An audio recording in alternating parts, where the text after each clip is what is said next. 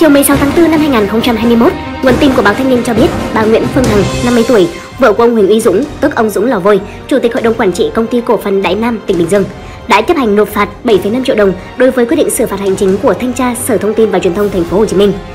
Trước đó vào ngày 8 tháng 4, tránh thanh tra Sở Thông tin và Truyền thông Thành phố Hồ Chí Minh Nguyễn Đức Thọ ký quyết định xử phạt vi phạm hành chính bà Nguyễn Phương Hằng với số tiền 7,5 triệu đồng vì đã cung cấp thông tin sai sự thật, xúc phạm uy tín của Ủy ban nhân dân tỉnh Bình Thuận và danh dự của Chủ tịch Ủy ban nhân dân tỉnh Bình Thuận.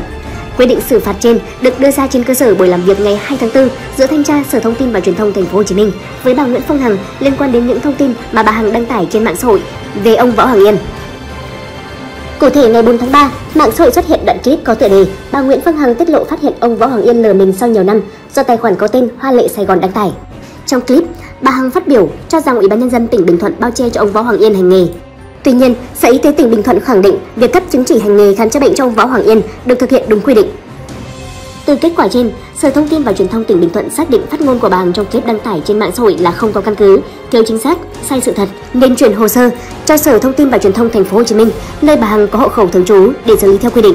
Tại buổi làm việc ngày 2 tháng 4 với Sở Thông tin và Truyền thông Thành phố Hồ Chí Minh, bà Nguyễn Phương Hằng không cung cấp được chứng cứ liên quan đến việc cho rằng Ủy ban nhân dân tỉnh Bình Thuận bao che cho ông Võ Hoàng Yên hoạt động khám chữa bệnh tại Bình Thuận.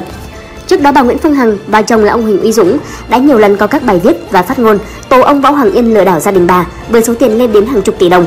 Ông Võ Hoàng Yên sau đó đã viết thư xin trả lại tiền, nhưng vợ chồng ông Huỳnh Uy Dũng cho biết vẫn sẽ tiếp tục thực hiện lời hứa với công chúng là theo đuổi tới cùng để lột chân sự thật.